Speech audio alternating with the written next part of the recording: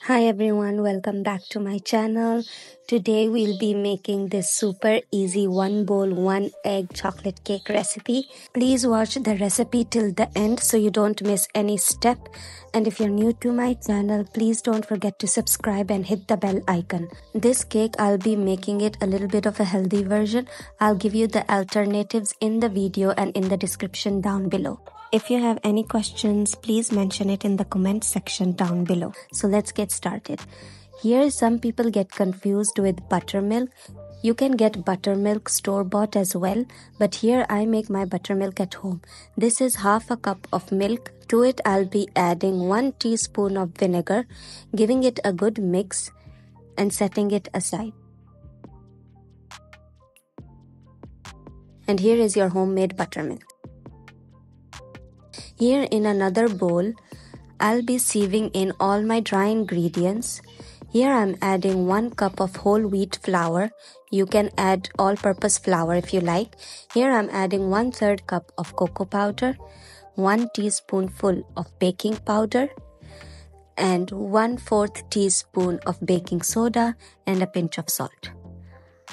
Sieve all these ingredients well if you like your cake to be rich in chocolatey flavor, you can also add half a cup of cocoa powder. I just added one third cup.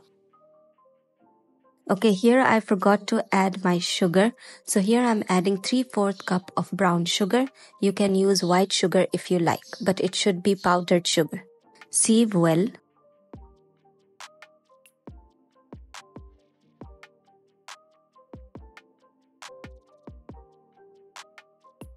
Mix all your dry ingredients well.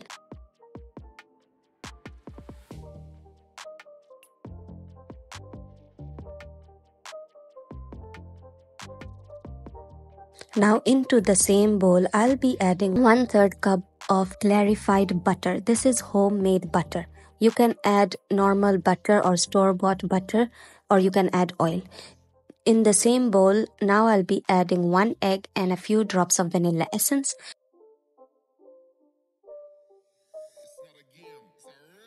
And here I'm adding our buttermilk that we have prepared in the beginning of the video. Give all these ingredients a good mix.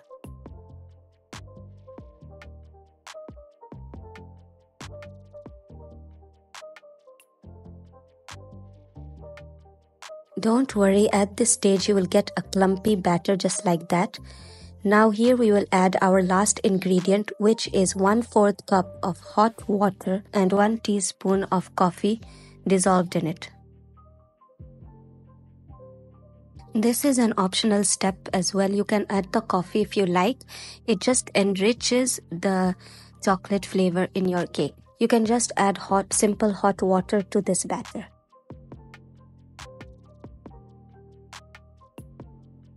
Give it a good mix till you get lump-free smooth silky batter.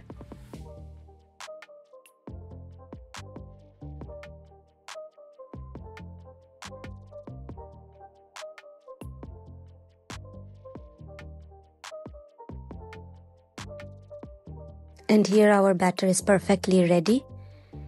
Now in my baking mold, greased and lined with butter paper, I will add my batter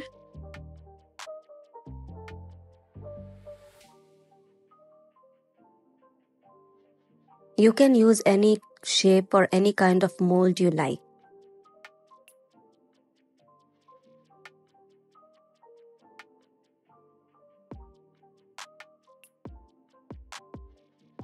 Spread your batter evenly. Tap your mold a few times. You can use a toothpick to swirl in your batter just to remove any extra air bubbles. This step is optional as well. Now here we will bake our cake in a preheated oven at 180 degrees Celsius for 30 to 35 minutes or until done. Here our cake is perfectly ready. Just look at how beautifully it looks. Demold your cake while it's warm. and let your cake cool down at room temperature before decorating it. Here I'm just decorating my cake with a simple chocolate ganache which the recipe will be given in the description down below. You can decorate it with whatever you like. You can just dust on it powdered sugar or you can just simply leave it plain. Here for decoration, I'll be adding a few shredded coconut. Here as well, this is optional. You can add sprinkles, you can add Oreos, you can add anything you like, your kids like, or your family like. And here it is. Our one bowl chocolate cake recipe is perfectly ready. It looks so good and you guys have to try this recipe. Your kids will definitely enjoy it. You will enjoy it. Cut into small slices.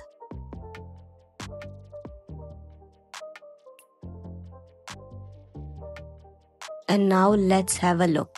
Just look at how super soft and moist it looks. Now let's have a bite.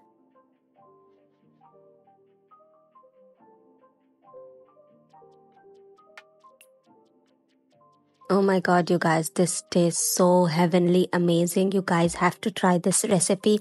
If you want your, if you're gonna be adding half a cup of cocoa powder in your cake to give it that richness of chocolate, then you can also add half a cup of oil. I've added one third cup of clarified butter because homemade clarified butter is very heavy.